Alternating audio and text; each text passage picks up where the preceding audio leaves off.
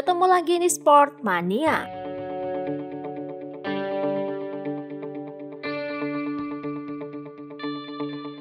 Sebelum menonton, jangan lupa untuk selalu tekan tombol subscribe dan loncengnya dulu untuk mendapatkan info terupdate dari Sport Mania.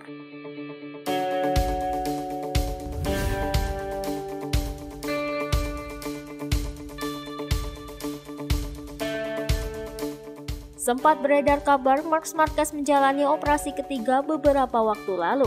Bahkan isu beredar Mark Marquez tidak bisa sembuh 100%.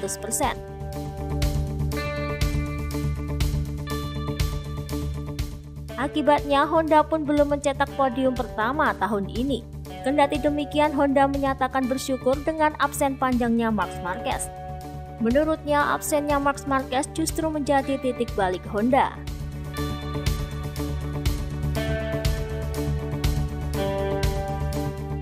Sebelumnya Honda selalu menang karena ada Marquez. Itu membuat mereka tidak khawatir sama sekali tentang kondisi mereka. Absennya Marquez justru membantu Honda menemukan kekurangan dan mengembangkan proyek mereka, ucap Ciabati.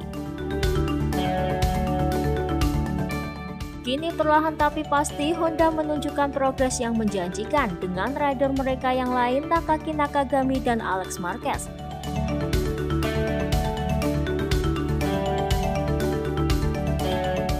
Direktur Teknis Honda Takeo Yokohama menilai timnya bisa lolos dari ketersesatan dalam pengembangan motor RC2 meski tanpa peran seorang Mark Marquez.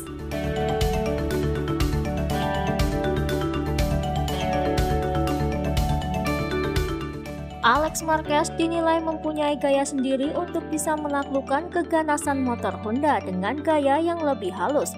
Bak rider bermotor 4 silinder membuat Alex Marquez mampu membuat Honda tidak seperti binatang lagi seperti saat berada di tangan Mark Marquez. Hal itu diungkap oleh rekan senegaranya Joan Mir.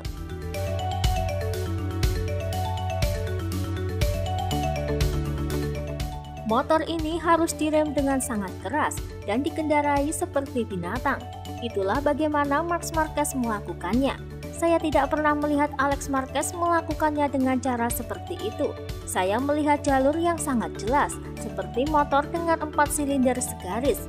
Itu sangat mengesankan dan saya tak mengira, ucap Joan Mir.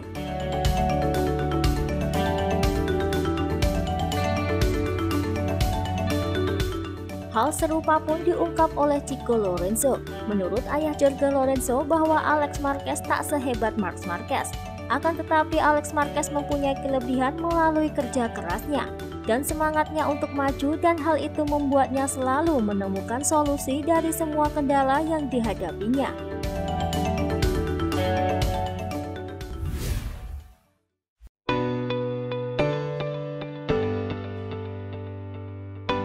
Tampaknya peluang Andrea Dovizioso untuk menjadi penantang gelar MotoGP musim ini semakin menipis. Andrea Dovizioso sekarang memiliki 109 poin untuk menghuni peringkat kelima dalam klasemen MotoGP 2020. Setelah terlempar dari perburuan mencari gelar juara, sosok berjuluk Desmodovi itu berbicara tentang Franco Morbidelli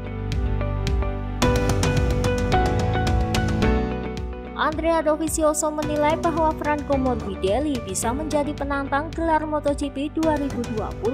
Morbidelli sebelumnya sukses tampil mengesankan saat balapan di MotoGP Teruel dengan finish pertama.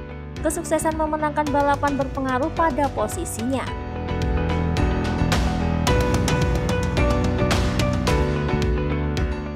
Pembalap berambut gondrong itu berhasil menepati posisi keempat dengan koleksi 112 poin atau selisih 25 poin dari pemimpin klasemen Joan Mir.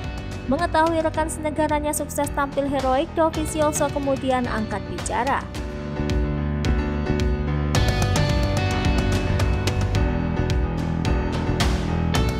Dovizioso menilai bahwa Morbidelli juga memiliki peluang untuk menjadi kampion dunia musim ini. Tentu saja, Morbidelli juga bisa memperebutkan gelar karena dia bekerja dengan baik saat balapan dan segalanya bisa terjadi dengan pasang surut performa lainnya, ucap Dovi.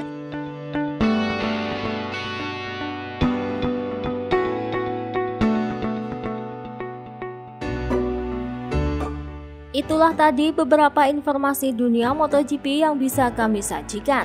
Terima kasih telah menonton video ini. Selalu ikuti informasi MotoGP kami lainnya. Salam Sport Mania!